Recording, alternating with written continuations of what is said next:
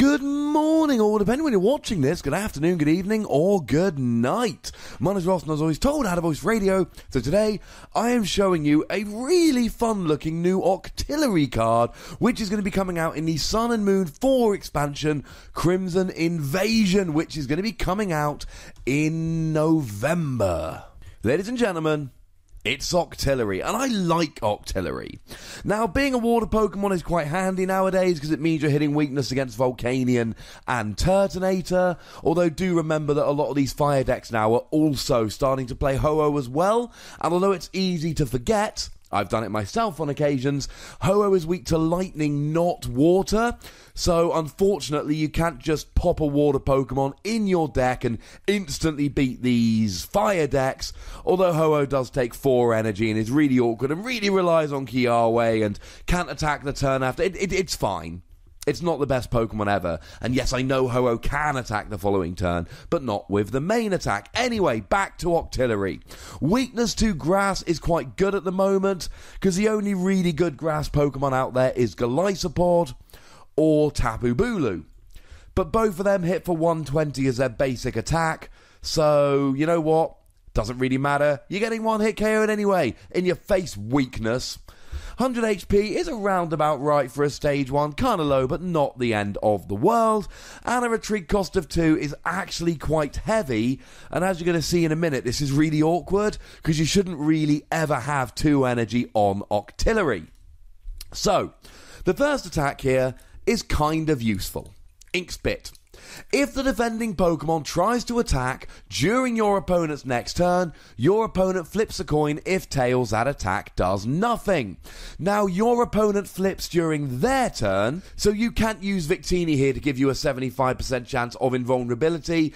It is very much a case of it's going to be 50 50. The thing is, however, your opponent's defending Pokemon is the one that has to flip if they attack. So if your opponent uses a Guzma and switches, or if your opponent retreats or uses a switch, then it's no longer the defending Pokemon. So if there's a different Pokemon active, then it doesn't need to flip a coin. So it is a little bit awkward in that respect. However, this can buy you some turns. This isn't an attack that you want to use constantly every turn. This is an attack where it's a case of, ah, I've got nothing to do. Think of it kind of like Froakie's Bubble. It's not great.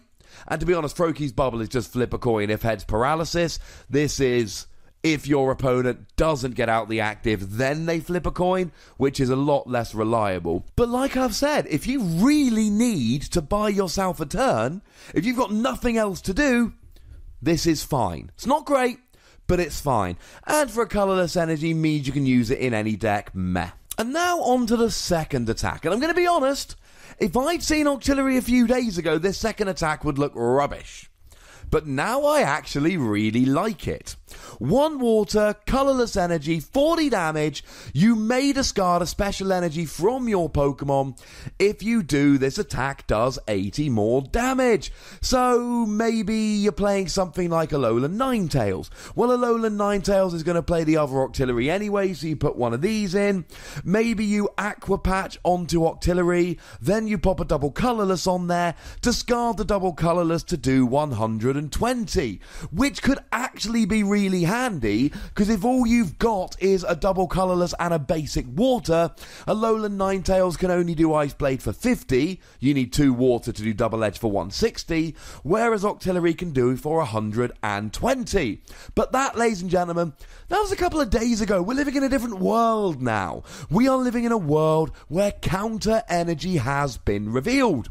And I did a video about counter energy a couple of days ago, and I told you that counter energy is amazing. And counter energy is amazing. And counter energy really is what you need for Octillery. Counter energy turns this from an occasional, uh, it's alright in some decks like a Alolan Ninetales when you're desperate attack into a, ooh, I could put this in a whole bunch of decks and it will be great attack. So, counter energy, for those of you who may have forgotten or who didn't see my video, it is an energy that is a colourless energy. But if it's attached to a non EX, non GX, and you're behind on prizes, it counts as two energy of any type. And that, ladies and gentlemen, is what is so gosh darned exciting. Because here's the deal you're behind on prizes in a deck that's playing counter energy. Maybe you're playing against Volcanion Turtonator. You don't have a great energy. You go down by a prize. All of a sudden, you pop a counter energy on Octillery. You then discard the counter energy attached to Octillery and do 240 damage. One of the huge downsides I said about counter energy is that being a special energy, it is vulnerable to being discarded by stuff like Drampa or the new Kartana, whose ability is just an enhanced hammer. But that's not an issue if you're discarding it yourself anyway. And of course, discarding the energy means that you're less vulnerable to something like Gardevoir, for instance.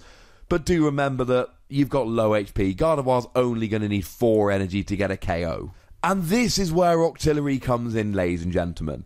As a tech, with counter energy, and the best part about it is, even though Octillery is a stage 1, this is a single card tech. Because what you do is you play the other Octillery. We're in a format now where Versus Seeker has rotated out. So our decks are getting a little bit less consistent because no longer can we just play a Versus Seeker to grab a Professor Sycamore or an N. We've got to be a little bit more creative, and what a lot of decks are going to do, and a lot of decks like Guard of Gardevoir, like Alola Ninetales are already doing it, they're going to play a 1 1 or 2 2 Octillery line, which means you're already playing 1 or 2 Remoraid. So if you're already playing Remoraid, you can literally play one copy of this Octillery just in case you need it. And we're all playing Rescue Stretcher nowadays, so it's really not hard to recover if you need it to. So in any deck that's playing counter energy, and the other Octillery. And I assure you, and I know at the moment we're in a big GX EX heavy format, there are going to be plenty of decks in the future that are playing both this Octillery and Counter Energy. And in all of those decks, this is an amazing single card tech. Because all of a sudden, you have a hard counter to fire decks. And that is amazing. Take something like Registeel. Now, I know I talk about Registeel too often at the moment, but I love Registeel. By the way, there's a link to Registeel and Counter Energy in the description so you can go and check them out. Registeel, little bit vulnerable to fire decks like Volcanion Turtonator. Now you've got Regice, who's a pretty good counter here, but Regice takes a water and a double colorless. Well, if you're trying to use Registeel, Regirock, and Regice, maybe Counter Energy is a great idea, so it can count as energy for any of those Pokemon as long as you're behind on prizes. So if you're playing an Octillery line anyway for consistency, you play a single one of these Octillery, and then if you end up going behind on prizes to a fire deck, you just go for it with Special Cannon for a single counter energy. I don't love Octillery in isolation. I think that the first attack is way too easy to get around because your opponent can just switch or retreat. I think the second attack is way too awkward, having to have a water energy and a special energy on there. I just think it's a bit weird and annoying. But if you're already playing Remoraid for the other Octillery, and you're already playing Counter Energy, and even if that's not happening immediately, I promise you there are going to be plenty of decks in the next couple years that are playing both of those things. Then all of a sudden, this becomes great. Single energy, instant counter to any fire deck other than Ho-Oh because Ho-Oh's weak to lightning. It's great, ladies and gentlemen. It's great. So great that I'm going to give this free Wossies. This is not a card around which you will be building a deck. It's not what it does. It is a card to stick in as a tech in a deck where you can afford to do so. And I am convinced There are going to be plenty of decks where you can afford to do so, but ladies and gentlemen, I want to know what you think. Let me know in the comment section. Go nuts, be nice. Make sure you like this video, subscribe to this channel, follow me on Twitch at twitch.tv slash PTCG radio for some live action, and there will be a PTCGO stream coming tomorrow at 7pm UK time. Join in, it'll be fun.